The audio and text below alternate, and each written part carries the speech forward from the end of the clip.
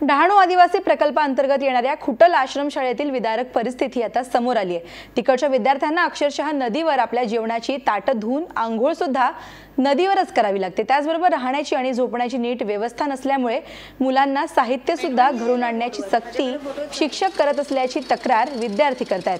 महाराष्ट्रावरनं ही सगळी विदारक परिस्थिती मांडल्यानंतर आज सामाजिक संघटनेच्या कार्यकर्त्यांनी या आश्रमशाळेला भेट दिली. आदिवासी मंत्री विष्णू सावरा या प्रकरणाकडे दुर्लक्ष करतायत. त्यामुळे याबाबत तीव्र आंदोलन करण्याचा इशारा या सामाजिक संघटनांनी दिलाय. कितवीला आहे तू? सहावी. आश्रमशाळेत राहतोस? हो. मग आंघोळ करायला कुठे? आहे नदीवर.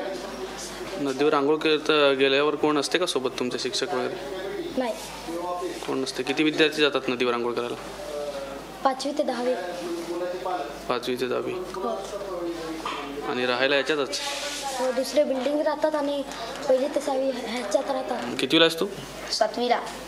आणि आंघोळीला कुठे जातोस? नदीवरती. स्वच्छतागृह आहेत? मुलींना आहे आम्हाला नाही आम्हाला नदीला अंगायचं नदीवर जातो तुम्ही? हो. मग पावसाळ्यात वगैरे पाणी जास्त असलं तरी पण का तिकडेच?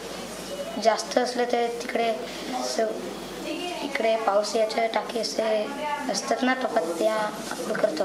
नाहीतर थोडी थोडं असलं काय तिकडे जातो. इकडची तुम्ही अवस्था बघाल तर तिकडच्या पेक्षा इथे सेफ्टी काहीच नाहीये. मुलींच्या जे इथे मुलींना ठेवलेले आहेत मुलं आहेत टोटल इथे पावणे चारशे मुलं राहतात वसतिगृहामध्ये.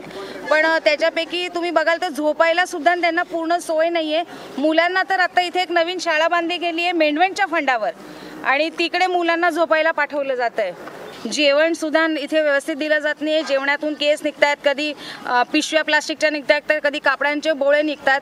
या मुलांच्या आंघोळीची व्यवस्था इथे नाही आहे मुलं सगळी अगदी पहिलीपासून ते दहावीपर्यंतची सगळी मुलं नदीवर आंघोळीला आहेत त्यांच्याबरोबर कोणी शिक्षक वर्ग नसतो. त्यामुळे सेफ्टी नाही आहे इवन अगदी डिश धुण्यासाठी सुद्धा जेवणाच्या त्यांना तिथे नदीवर जावं लागतंय.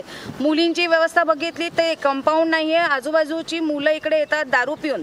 आणि त्यानंतर त्या मुलींचे दरवाजे जबरदस्ती उघडण्याचे प्रयत्न केले जातात म्हणून आम्हाला माहिती मिळालेली आणि ते सगळ्यात जास्त धोकादायक आहे. इथे मुली सुरक्षित नाही आहेत